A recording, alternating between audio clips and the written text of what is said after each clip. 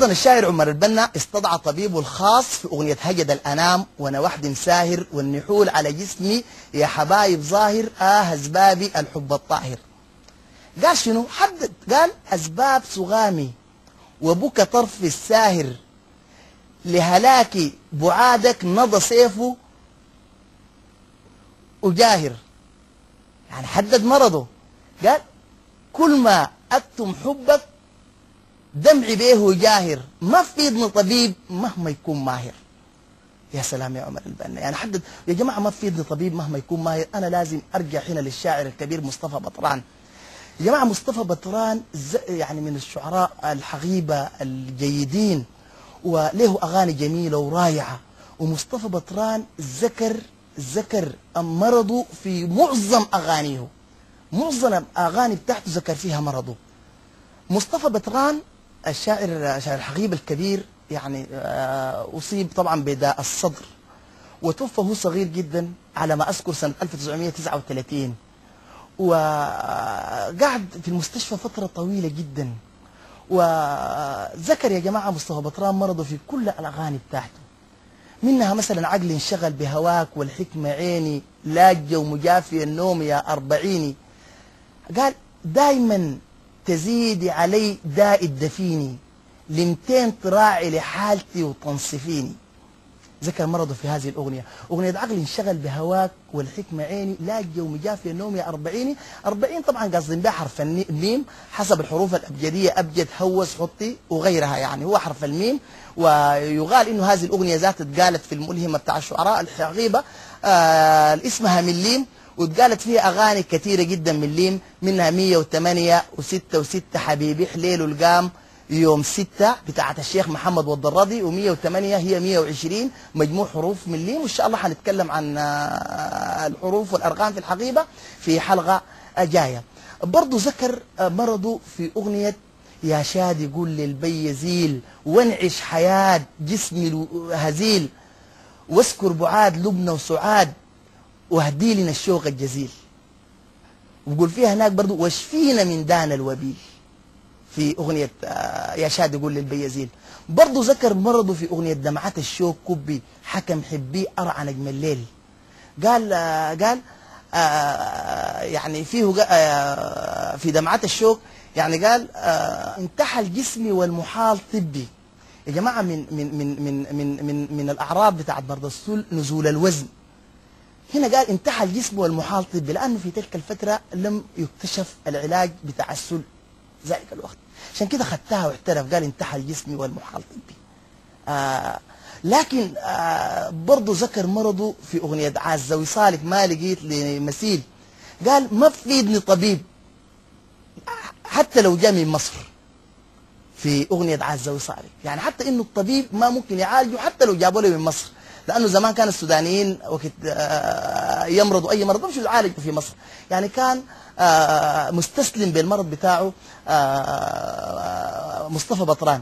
أنا بعدين محمد الطيب قال لي إنه أغنية دمعة الشوق دي. طبعا من ألحان سرور وغناها كروما. ودي حاجة نادرة جدا يعني بالرغم إنه كان في المضاربات بين الفنانين لكن الأغنية بتاعت دمعات الشوق لحنها سرور.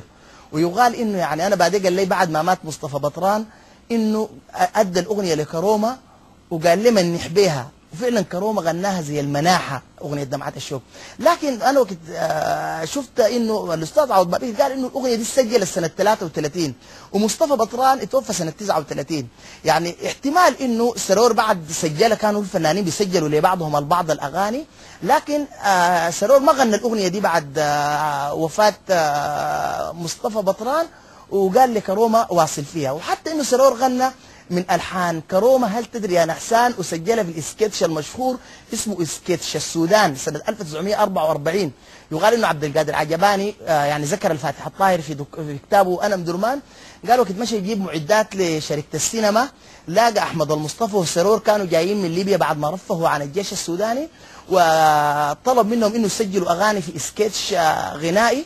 وسجل آه، سرور أغنية هل تدري يا نحسان وهي من ألحان- كرومه وكلمات آه، الشاعر محمد بشير عتيق وأحمد المصطفى سجل أسمعني نغم حالي. ويقال إنه يعني أن إحنا النسخة جات السودان اتفقدت. والنسخة الموجودة في مصر ات- اتحرقت في حريق استوديو مصر سنة 53 يعني كان يا ريت إنه لو كان موجود ال ال ال ال ال الشريط ده كان شفنا السرور آه، بيغني أغنية هل تدري يا نحسان؟ في صورة. وبعدين بالمناسبة يا جماعة أنا قبل ما أرجع للأطباء إنه الفنانين السودانيين سجلوا أغاني في الأفلام المصرية. منهم الفنان أحمد المصطفى. سجل آه، في بداية الخمسينات آه، وهبت في فيلم اسمه وهبتك عمري. بطولة عمر الحريري وصباح. وغنى ثنائي مع صباح رحماك يا ملاك. وأيضا آه، سيد خليفة سجل في فيلم أظنه اسمه التمرحنة لو الذاكرة بتزعفني. وغنى فيه المنبذ السوداني. والفيلم بطولة أحمد رمزي ونعيم عاكف وستيفان رستي.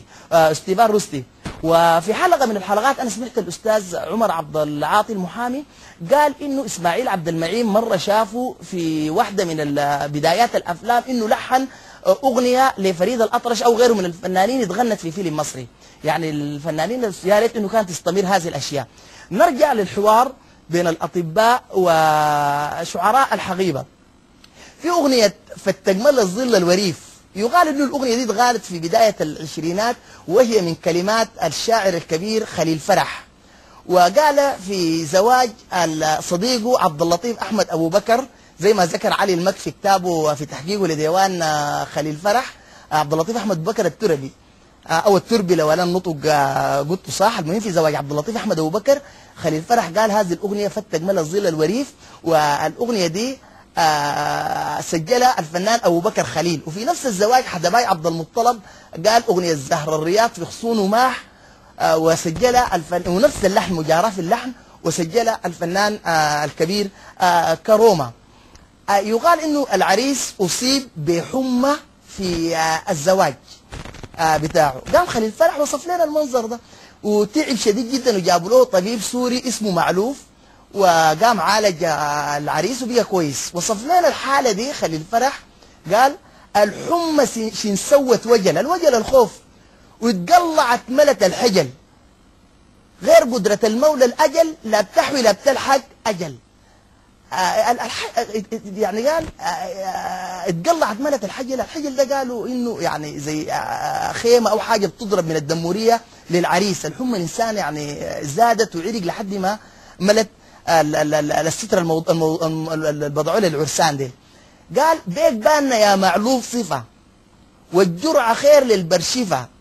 إيدك نقية ومنصفة لا زالت للأنفس شفا لو أنا كنت بتذكر البيوت إنها صحيحة بالطريقة دي. قال العافية زي مص القطيف. تتمشى مع لطف اللطيف. شنزارنا من الحمى طيف وكفارة يا عبد اللطيف. هو عبد اللطيف أحمد أبو بكر في الأغنية اللي قال آه، اللي كان فيه الزواج بتاعه اتقالت فيها فتك مل- ملا الظل الوريف أيضا شعراء الحقيبة ذكروا بعض الأدوية في أغانيهم ومنهم الشاعر بور محمد نور في أغنية إنت كلك زينة وعايمك الوزينة. قال خد آه قال بالسموم تسقينا وبالنيران تكسينا ونحن ما بننساك ريدك ذات تمكينه ومرة حبك كينا. وجل من أنشأك. الوقت ذاك عن ال- الكلوروكوين وغيره من أدوية الملاريا ما ظهرت وكانوا بيتعالجوا بالكينا عشان كده قال في أغنية آه، بالسموم تسقينا. وبرضه السلفه السلفه دي قالوا زمان بيعالجوا بها اي حاجة. عتيق قال مرضان سيادتك لازم عيادتك. مرضان سيادتك أصبح أسيرك وصار مستجيرك. وما وما له غيرك وماذا يضيرك بروح إلفة وليه روحه تلفى بصحب بالسلفة لو فيها كل لو فيها كلفة. قال مرضان سيا يعني الأغنية دي قالت مؤخرا زي ما قلت في سنة 76 وقالها في دكتورة مشهد عالج عندها الشاعر آه، محمد بشير عتيق. إياك طبيبي أنت المداوي إياك حبيبي اللي خليتني راوي. لأدبي توحي فكري وطموحي. بالله روحي. أطلب صراحة أطلق صراحة وأضمي جراحة وأديها راحة. مش كده؟ وأدي بالله روحي أطلق صراحة وأضمي جراحة وأديها راحة وقول لها وصفة مع ابتسامة أيام تصفى. وبرضه عتيق كتب برضه في دكتورة آه، قصيدة مشهورة جدا وبقول فيها سماحتك في إيدك اشتاق ليها جيدك. يعني أنا لحد هنا آه الحاجة اللي يعني بقول إنه يعني شعراء الحقيبة كانوا مبدعين ووصفوا ال- ال- ال- ال- الاسنان وصف جميل جدا. وزي ما قلت أنا في بداية الحلقة وصفوها بالدر وبالجواهر وباللآلي واستدعوا الأطباء آه، في قصائدهم. ويعني كان آه،